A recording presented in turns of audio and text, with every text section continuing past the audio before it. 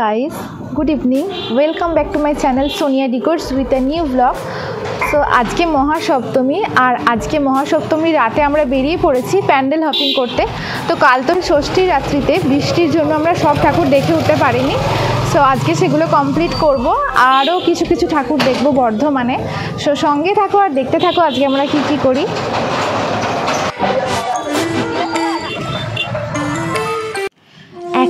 প্রবেশ করলাম বর্ধমান আলমগঞ্জ পূজা মণ্ডপের ভিতরে।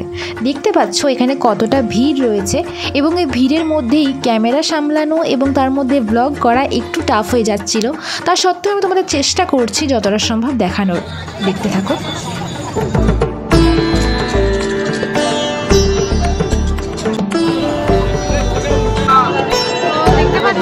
প্রচুর ভিড় আর মন্দিরের ভিতরে দাঁড়াতেই দিচ্ছে না। আমরা ঢুকেই জাস্ট বেরিয়ে যাচ্ছি।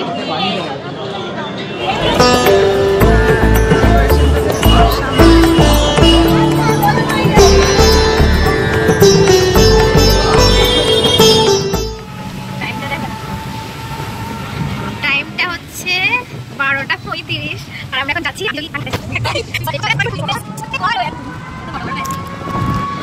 পাচ্ছ? রাস্তা পুরো শুনশান, চারিদিকে একদম পুরো নিস্তব্ধ। তো আমরা এখন যাচ্ছি ডিভিসি ঠাকুর দেখতে। আর তোমরা আমাদের সঙ্গে থাকো আর দেখতে থাকো। সব প্যান্ডেল আগে ঘুরে গেছি ভয় গোল এবং শহরের রাস্তায় রাতের বেলায় ঘোরার মতো। সো এরপরে শুরু হয় একটা নতুন ঝামেলা। কারণ আমাদের মেন রাস্তা থেকে নেমে ভিতরের রাস্তা দিয়ে যেতে বলা হয়, যেহেতু নো এন্ট্রি ছিল। অ্যান্ড এখানে চারিদিক থেকে টোটো এসে ঘিঞ্জি জায়গায় পুরো মানে ঝগড়া লেগে গেছিল। সো এখানে অনেকটা টাইম ওয়েস্ট হয়। তারপরে আবার ফাইনালি আমরা মেন রাস্তা দিয়ে উঠে যেতে শুরু করি। দুর্গা পুজো হলো আমাদের বাঙালিদের সব থেকে বড় উৎসব। তাই দেখতে পাচ্ছ, এই উৎসবে আমরা সবাই মেতে উঠেছি যে যার মতন করে। আর আমাদের প্রিয় বর্ধমান শহরও সেজে উঠেছে, আর চারিদিকে আলোয় আলোকিত হয়ে উঠেছে। তখন বাজছিল প্রায় রাত একটা, আর এত রাতে আমাদের বর্ধমানে ঘুরতে কোনো প্রবলেমই হয়নি আর একটু আনসেফ ফিল হয়নি।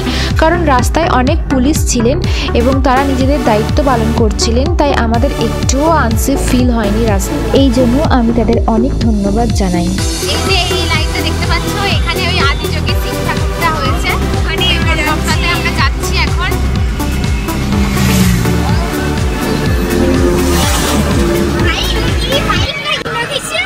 কাল বৃষ্টির জন্য এই ঠাকুরটা আমরা দেখতে পাইনি।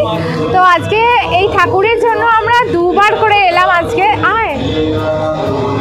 তো এই আজকে এই শিবজির জন্য আমরা দুবার করে এলাম আদি যোগী। তো এখানে আসাটা সার্থক। আর এখানে যখন ঢুকছিলাম পুরো গায়ে কাঁটা দিচ্ছিল একটা। মানে জাস্ট ফিলিংসটাই জাস্ট একটা আলাদা।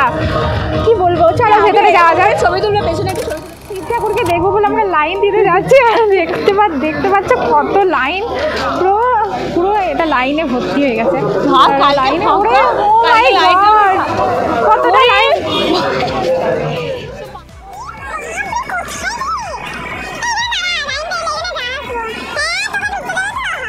লাইনে দাঁড়িয়ে আছি। দেখা যাক কখন গিয়ে পৌঁছাই। লাইনে দাঁড়ার দাঁড়ানোর পর আমরা অবশেষে ঢুকতে চলেছি সেই এন্ট্রান্সে দেখতে পাচ্ছ এখানে ওই লাইনটা ঢুকছে।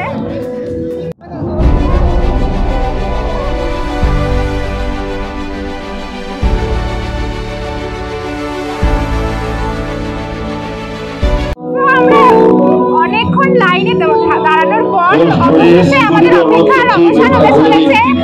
আজকে সেই অসম্পূর্ণ আশা ফুলফিল হতে চলেছে। তো আমরা এখন প্রবেশ করলাম এই পূজা মণ্ডপটির ভেতরে। এটা কোনো দুর্গা পুজোর পূজা মণ্ডপ। না সত্যি করে আমরা তামিলনাড়ুর সেই জায়গায় চলে এসেছি যেখানে এই মন্দিরটি অবস্থিত সেটা আমরা বুঝতেই পারছিলাম না কিছুক্ষণের জন্য।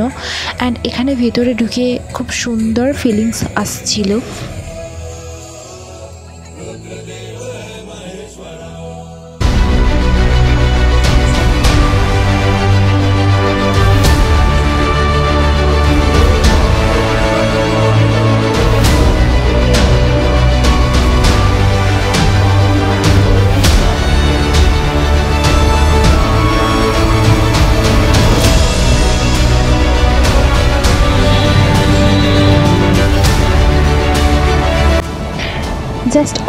অপূর্ব এক কথায় জাস্ট অপূর্ব। এটার সৌন্দর্যটা কোনো ভাষায় প্রকাশ করা যাবে না। মানে মহাদেবের এই রূপ সত্যিই দেখা খুব ভাগ্যের ব্যাপার। অসাধারণ হয়েছিল এটা।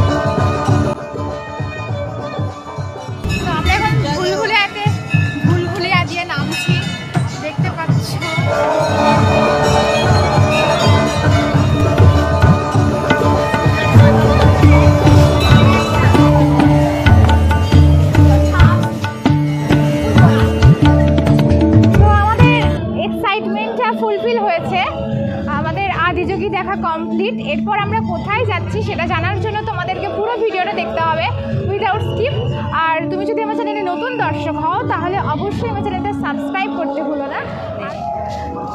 তো এখন বাজে দুটো আটচল্লিশ, আর আমরা এখন দাঁড়িয়ে আছি লাইনে বৃন্দাবন দেখার জন্য, দেখতে পাচ্ছ? দেখা যাক, কটা বাজে আজকে এটা দেখার জন্য। মানে আমাদের এনার্জিটা ভাবো একবার, সারা রাত ধরে ঠাকুর দেখছি এখনও ফুল টু এনার্জি ওর এনার্জি প্রায় লস হয়ে গেছে, মুখ শুকিয়ে গেছে। দেখতে পাচ্ছ আমরা এখন বৃন্দাবনের ব্যাক সাইডে দাঁড়িয়ে আছি। মানে পুরো লাইনটা এই দিকটা যাবে কভার হয়ে পুরো লাইনটা ঘুরে ঘুরে রাউন্ড হয়ে ওর ফ্রন্ট সাইডে আসব। তো সঙ্গে থাকো তোমাদের দেখাবো বর্ধমানের বৃন্দাবন পূজা মণ্ডপ। এটা করেছে বাজে প্রতাপপুর। তো আমরা যখন এলাম তখন পিছনে আমাদের পরে আর কেউ ছিল না। একবার লাইনটা দেখো একবার শুধু। এখন প্রায় তিনটে বাজতে যাচ্ছে ঘড়িতে। এখনও লাইনটা দেখো একবার। পুরো ভর্তি হয়ে গেছে। যখন আমরা দাঁড়িয়েছিলাম, আমাদের পিছনে তিনজন ছিল মাত্র। এটাই হচ্ছে আমাদের বাঙালির দুর্গা পূজা একটা ইমোশন। দু বছর আমাদের বাঙালিদের মানে করোনার জন্য আমরা ঠিকভাবে পুজোতে এনজয় করতে পারিনি। সো এই বছরে সবাই ছুটিয়ে ঠাকুর দেখছে ছুটিয়ে প্যান্ডেল হপিং করছে। আমরা তো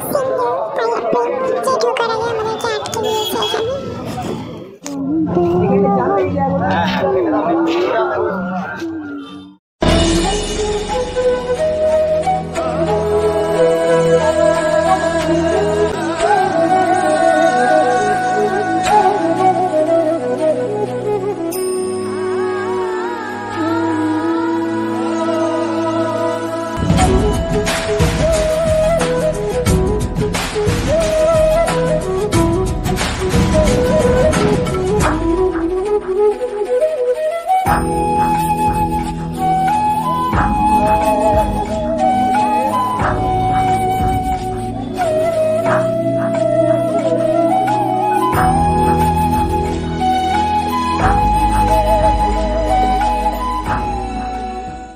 অবশেষে আমরা প্রবেশ করেছি বৃন্দাবনে।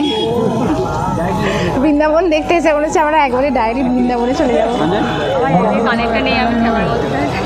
ঠাকুর দেখতে এসে সব থেকে লেটেস্ট খবর হচ্ছে ওর একদিকে কানের হারিয়ে গেছে।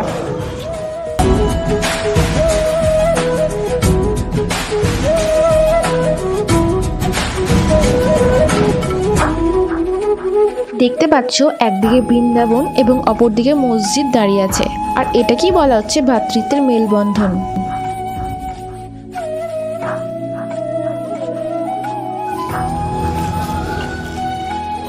তো তোমরা দেখতে পাচ্ছ বৃন্দাবন যে থিমটা করেছে সেটা কতটা সুন্দর করেছে।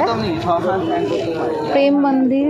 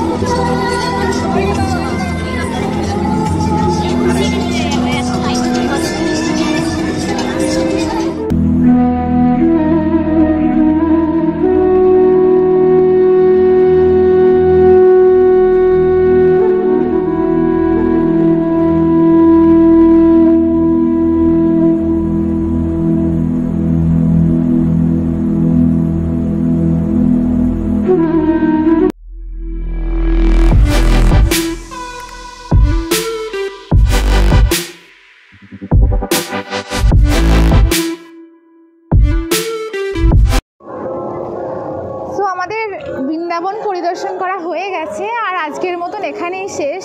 আর কোথাও যাচ্ছি না, প্যান্ডেল হপিং করতে, এরপর সোজা বাড়ি। সো আজকের ভিডিওটা এখানেই শেষ করছি ব্লগ ভিডিওটা। তোমাদের যদি এই ভিডিওটা ভালো লেগে থাকে, তাহলে অবশ্যই লাইক কমেন্ট এবং শেয়ার করে দিও। আর আমার পরবর্তী ভিডিও দেখার জন্য আমার অবশ্যই চ্যানেলটা সাবস্ক্রাইব করতে ভুলো না। আর thank you so much for watching this video সবাই খুব ভালো করে পুজো কাটাও, খুব আনন্দ করো, খুব মজা করো। আর এই ভিডিওটা কেমন লাগল সেটা অবশ্যই কমেন্ট করে জানিও। Take care bye bye